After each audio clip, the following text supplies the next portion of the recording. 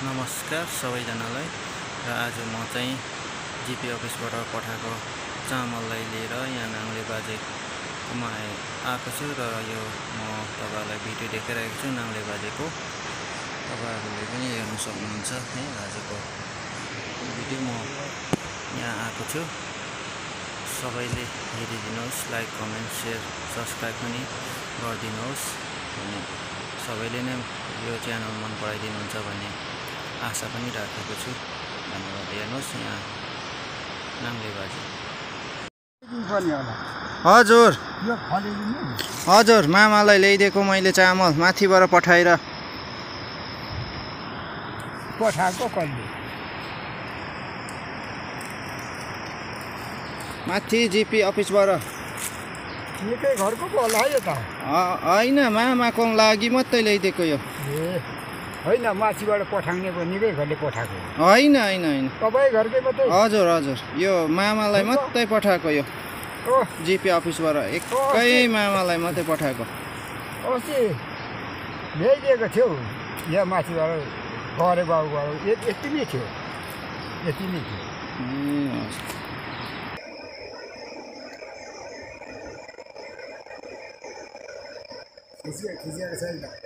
भयो। यहाँ हेर्नुहोस् उहाँ चामल लिएर घरभित्र पस्दैछ उसको घरको दैलो यस्तो छ बाजेको। हेर्नुहोस् है यो भित्रहरू।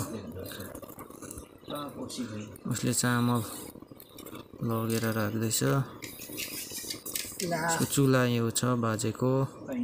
एउटा भाँडा रहेछ। यो चाहिँ तपाईँहरूले देखाइरहेछु एकदमै सत्तर वर्ष नागिगएको छ। यसो विचारमा उमेर चाहिँ यो जङ्गलमै बस्छ।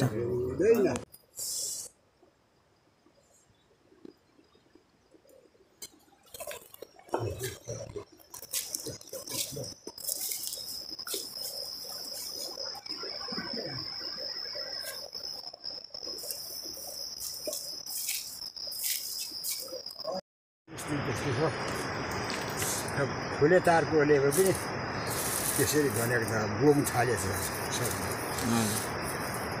पारा बिगारे के भने कसैले हाम्रो- गाउँकोले त हिजो चित्रे साइला आएको थियो यहाँ बिसाएर गएको थियो ऊ गाउँ पसेको थियो आलु दुध अलिक सबै निलखाउ पऱ्यो होला खै म यतैबाट पत्तो पाउँछु म जाँदिनँ म दुधतिर ल्याउ खानु भन्दिनँ त हजुर छैन दुधमा सबैले आफू आफै जानेको छ सिकाउनु पर्दैन भने मामा अब त जाडो महिना लाग्यो त हौ लाग्यो भने मामा नुहाउनु भएको छैन होइन भने जाडले सकिँदैन जाडोले नसक्ने नुहाउनु बुढामा चाहिँ हुन्छ भने आगो त आगो फुकाएर आगो फुकेर पानी तताएर नुहाउनु होइन मामा होइन चिसोले तातैले नुहाउनु पर्छ कि तर नुहाएको छैन भने साबुन पनि थियो अलिकति त्यो भने त्यसै काम लागेन यो जेठी बोजूकोमा घरमा निस्को चिया चाहिँ सिधा चिया चिया खायो हो त्यो फल न- नखानु निस्का नखानु भनिहाल्छ नि होइन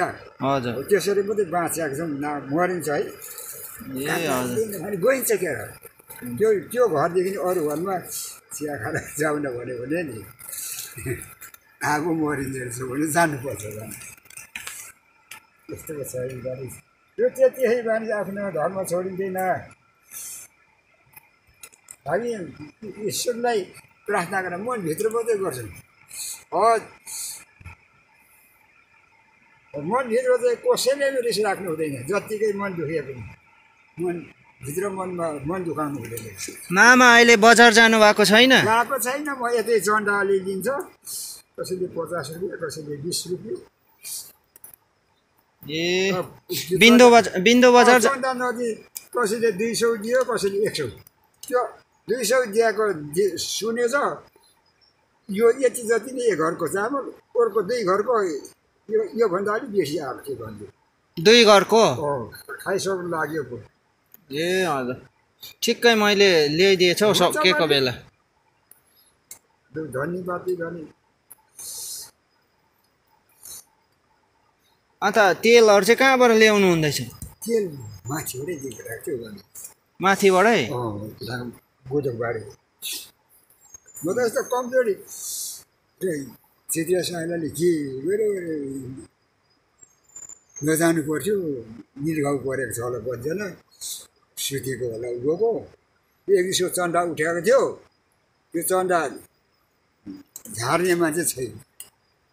सबै हिजो बिग्रेको छ भन्नु म पत्तो लाग्छु यो चित्र सरलाई के हेर्न पस्यो आज यता आलु दुध त साह्रै जानु हुँदैन भनिस् हुन्छ मामा जानु पर्यो हुन्छ एकदमै नभुल्नु है त्यो चाहिँ ए हुन्छ हिउँद बर्खै नै बाटो त्यसो राम्रो ठान्नुपर्छ पर खोलादेखि नै फाँडेरै गयो छान्ने तेर्सै गयो तेर्सै आयो दाइ खेलेर दिनमा दुई सौ डेढ सौमा तिन सौ माऱ्यो भने नि त। त्यसै खेल त्यसै। हुन्छ ल जानु पर्यो आज आज उसको पहिलाको घर यो हो। यहाँ बस्छ। एकदमै जङ्गलमा बस्नुहुन्छ एक्लै छ। यस्तो जग्गाहरू छ। तपाईँहरूलाई देखाइराखेको छु। हेर्नुहोस्। फर्स्टमा चाहिँ यहाँ बस्थ्यो यो ओडालमा। अहिले यहाँ बेसी नै पानी परेकोले गर्दा ओडाल छोडेर चाहिँ यहाँबाट चाहिँ निस्केर अहिले यहाँ पर गएको छ। यो अहिले यहाँ बस्दैछ यो जङ्गलमा। हेर्नुहोस् है यस्तो छ घर। मलाई डर पनि छैन उसलाई केही छैन। ऊ एक्लै बस्छ जङ्गलमा। घरै यस्तो छ। तपाईँहरू कतिले त चिन्नुहुन्छ होला कतिले चिन्नुहुन्न। हेर्नुहोस् है। आज चामल पुऱ्याएको चाहिँ अर्को बोरामा सार्दैछ।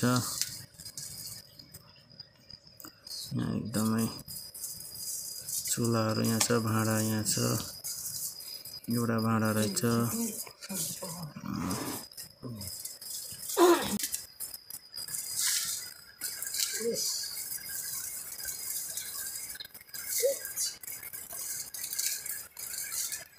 Ooh.